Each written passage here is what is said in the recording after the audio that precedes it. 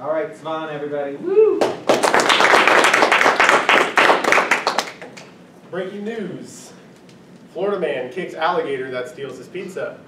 Politicians say something stupid. Or a bear commits 21 home invasions near Lake Tahoe. That last one's true, by the way. News and social media are a great, great way to stay up, date, up to date. Sorry. You should be able to believe them, understand them. But a human condition lies on top of all media sources in bias. Media bias and bias is a prejudgment in media that is meant to sway an opinion in favor of one side. Why should you care? Ad Fontes, a media company that actually specializes in measuring bias in companies, has gone through over 2,700 of our news media sources in the US and 54,000 of our articles to notice they all have shown media bias. Presumed media bias has also near bipartisan support among liberals and conservatives. 69% in the dark blue is liberals who agree with media bias towards their party. Dark red is conservatives who agree with media bias towards their party, which is 91%. What will we be talking about today? The history of media bias. Then, two ways to locate bias in media. Finally, how to identify bias that you may be more susceptible to. History of media bias, World War I to current. World War I propaganda. I'm Siri. You might not be able to believe this, but propaganda is actually a type of bias. Media bias has always had the same plan, to sway beliefs. In the book Propaganda of World War I, the author explains, the communization of war necessitated the mobilization of the human mind. This can easily be simplified to, with the war, we needed to figure out how to locate and get the public on our side. Here's a little bit of World War I propaganda. We've all seen this one before. And here's a little bit one talking about buying bonds. Next one, the 1960s space race, non-American propaganda. The race to a giant rock in the sky, the moon. Between some little-known country called the USA, we should all probably know that one, against some slightly larger country called the USSR, which is actually current-day Russia. The USSR was a communist country. This ticks the US off. That means we gotta beat them. The US actually did beat the USSR to the moon, which was a major win against communism. Here's a little bit of actual Russian propaganda towards us, or the USSR. This actually says Slava, which means glory, is the closest way to it. And then all the C's means USSR. Current day media bias. This is not a new concept, but this is not an old concept either. In a study published by PNAS, per the Stanford Media Analyzer, February 8th, 2022, the most biased time for our news outlets was during the Trump presidency. We could actually notice CNN had become slightly more liberal and Fox News has become slightly more conservative. We can see on our graph here, right here is CNN, the red one is Fox News. 2020 was the Trump presidency, or during the end of Trump presidency.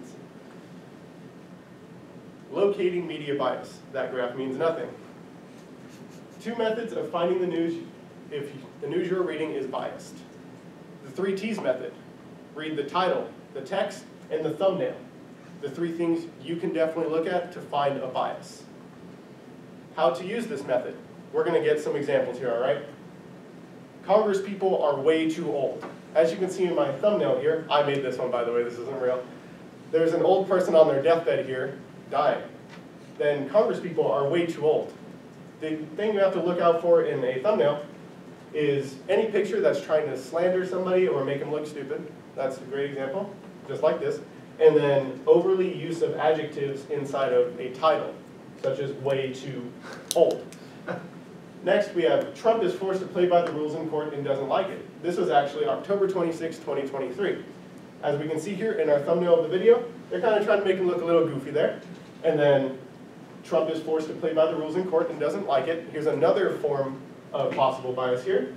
Doesn't like it. It's an assumption. You want to be looking out for an assumption as well. The second method to be able to find media bias is the use of a media bias analyzer.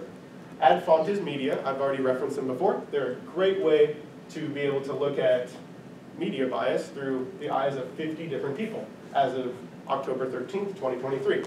Stanford TV News Analyzer. This is actually a program written by Stanford to read news 24-7 and find out which words are the hottest, which are the key words being used by our media. Here is actually the, um, sorry, this is the Ad Fontes graph here.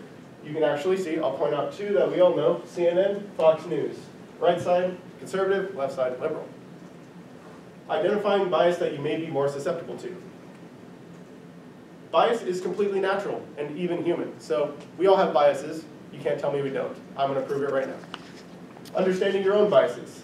We've all been there at the Thanksgiving table with your uncle who's talking politics. They think they know everything. But let's put ourselves in a situation to question our bias towards our uncle. Let's assume your uncle is from a cannibalistic tribe in the Congo. We all have our biases towards the idea of cannibalism.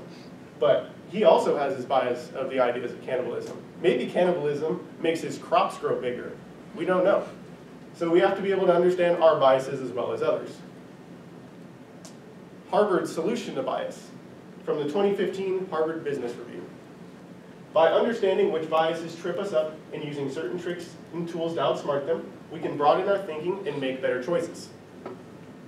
How is bias natural?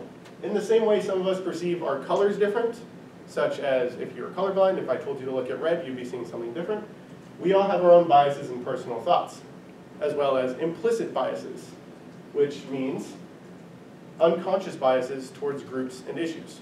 For this one, I would like another example. If I told everyone in the class to think of a spoon, you could be thinking of a plastic spoon, a wooden spoon, and a metal spoon. Say I was thinking of a wooden one, someone else was thinking of a metal one. That's difference in our point of view and our own biases. What have we learned today? What is media bias and the history of it? How to identify media bias and how to identify bias that we are more susceptible to. Use due diligence with your media consumption. As of the recent war controversy, a lot of news sources or people may try to sway your views. Try to keep an open mind and find the biases within other people's words before figuring out your own opinion. My works ethic.